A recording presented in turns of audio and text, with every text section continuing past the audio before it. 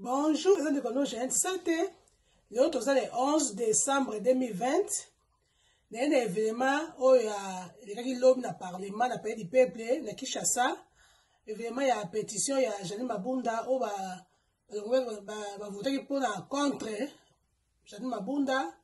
En tout cas, ezalaki le 10 lobi, tomonaki union sacrée nde gagne. En tout cas, union sacrée nde gagne. Côté FCC, ezalaki silence. Tomonaki en tout cas, bato kosepela futo baverité oyo basepelaki partout tomoni na kinshasa na facebook na réseau partout tuka basepelaki kosepela nga azoba awa tomonaki eh, bato bazalaki kosepela pepe kongo azalaki kosepela en tout cas nana tia no ba extrait ba extrait ya réaction ya bato bazalaki no na palais du peuple bongo to tozonga nano sasa na ndenge vote yango bandaki koleka lobi oyo oh, extra vote nde bazo compter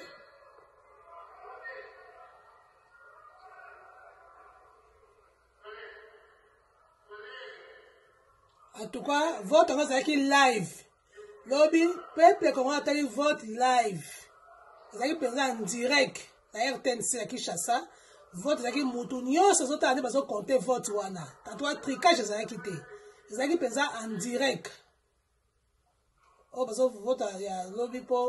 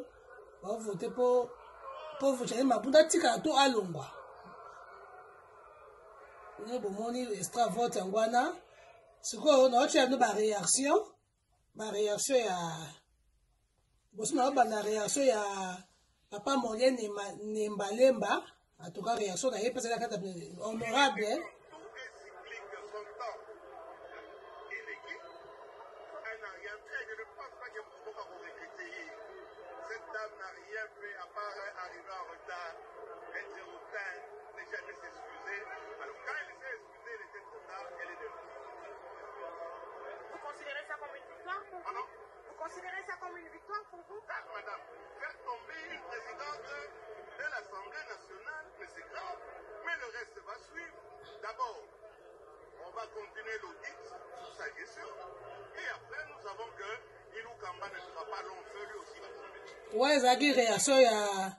ya papa Molière atwa reste yango bokoti YouTube ya Jean Célèbre bomona yango naotiaka ba réaction awa naotia bino sikoyo Daniel Safu boyani botala ye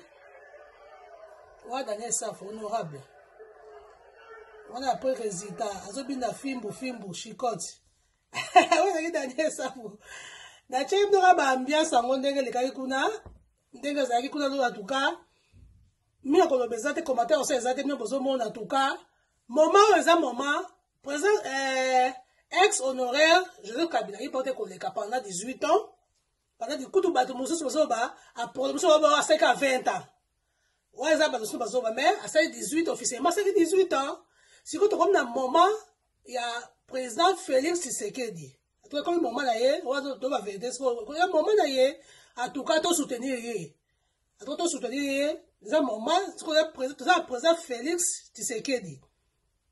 naloba boye ino sacré baso babenga yango yango nde mopepa sika yango nde makambo mpo na ngai ino sacré ezala eloko moko eyo ezosangisa bakongole nyonso ino sacré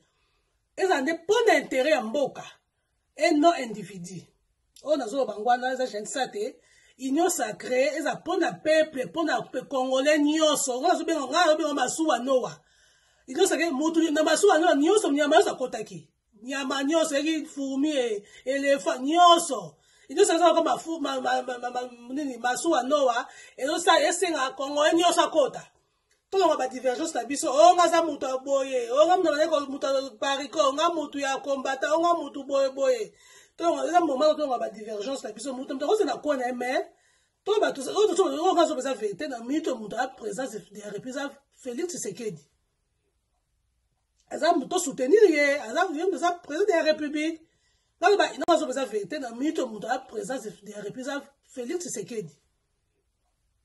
aza to soutenir ye aza aza président ya république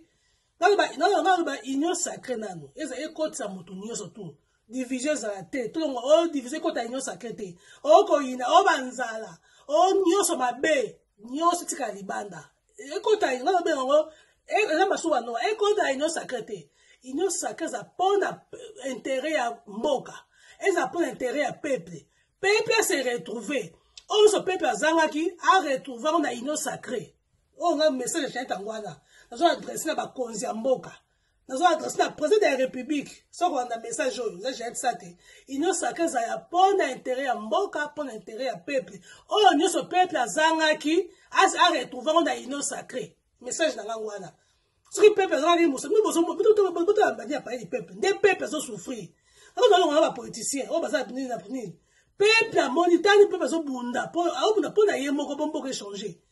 baoboke bagaz acrimogene mpe bapolicier mpe bomoni pepe bototala baimage pepe azobunda pepe alembi te akozonga mpe boye coura eza te pepe akozonga boye na nzala pepe akozonga boye mosala eza te nde bazonga bandona babutu wa bino botala bakutaka nini na bandako na bango mwa courant eza te mais quand même ba policiers soki bozongaka boza ba vieux bien boza ba honorable boza ba vieux lix boza bien boza bien mais peuple moto azo souffrir nga aza jackson aza peuple sima peuple aza pour moto te hein na pour moto te aza pour le changement union sacré yo en tout cas ememela mboka un plus eza changement mpo na mboka changement mpo na peuple oyo oh, peuple nga mpo na nga oyo oh, peuple azangaki lobi ase ah, retrouve na ino sacré oyo oh, message na ngango wana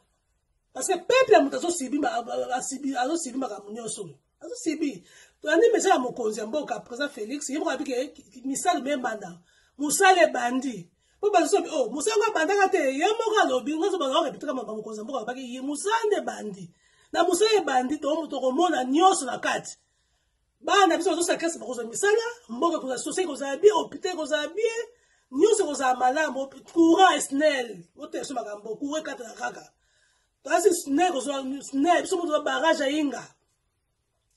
régie des eaux toza o fleuve na biso tokoza mai fo ezala ezalaka ezala partout étendue ya rdc courant ezala partout tolonga badelesage esila en tout cas union sacrée yoboka misalo mebanda makambo ebandi mosala ebandi mosala ebandi sur tout makambo makambo nyonso mopepa sika ezo na mboka en tout cas mopepa sika nabenga mopepa sika union sacrée eza mopepa sika ezo na mboka parce que nakotala bato so babaki ke deux ans mokonzi oto olekisa bablokaki ye libala wana bablokaki ye tout et tout sikoyo ye moko alobi ke abomi libala libala koalizoya lisusu te mopepa sika union sacré babengaka mopepa sika union sacré eza mpo na intérêt motu moko te abeza na intérêt ya peuple nazo répété oyo peuple azangaki ase retrouva ngo na union sacré message na ngai yango wana aza na mimi ya koloba te ezali kaka komate naosala mpo na na lobi makambo ya jani mabuza ndenge oyo alongwe président ya assemblée nationale atuka lelo eza mokili nga ozobakaka na nga structure nini te nanga mpe ya parti politique moko notala nde nde makambo ezoleka lelo eza tour ya président félix tshisekedi nde mosusu mpe oyo oh, ane mosusu ekoya mekoza mpe motu mosusu c'est ça nde na poto ezalaka eh eza kuna zoba bongo aya leka leo mamiko na bizu te elekaki passe elekaki ti honore ezalaki ya honore kabila mais sikoyo tata ta président félix tshisekedi fo tolobela yango en tout cas nalobaka yango union sacrée na point ya peuple atuka balusu balobi president wana ba combattant bato ba minute oyo president Felix Tshisekedi atie kabila 5 bi atie 5 bi ya 0 ozaka combattant bato wana biso tolanda wote ngai batali ke ngai zaka union sacrée eza nde mpo na peuple president Felix okolanda message azolanda eza mpo na peuple se retrouver ya union sacrée eza nde mpo na peuple taka nde bana nde bana bato bazobunda bapeuple libanda payedi peuple bazobunda mpo na mboka na bango mpo na vi na bango mpo na avenir ya kongo ya lobi bakozonga boye kura eza te aza na eloko te nzala na ndako atuka na bango baluka bango te misala oyo babana wana oyo na bango libanda mpe lipepe baluka bango misala bazwa misala ba se retrouver en tout cas naza mingi ya koloba te nasuki wa mpona lelo ezali kaka réaction na ngai sho agenti sa te mpona makambo ekali lobi apaya lipepe makambo ajali mabumu oyo ekali lobi en tout cas natiki bino bosabone massivement na youtube na ngai agenti sa te naza ndeko na bino ya na bino mwana na bino leki na bino nyonso mpona bino na ndeko na bino ya congo na congolaise toza mama moko tozo se retrouver congo bosabone massivement naseki massivement na youtube nanga jeune sante kozala malamu mingi page nanga mpe jeune sante kaka youtube facebook na mpe kakombo ka jeune sante eza malamu mingi antuko natiki bino bozala bien partout baba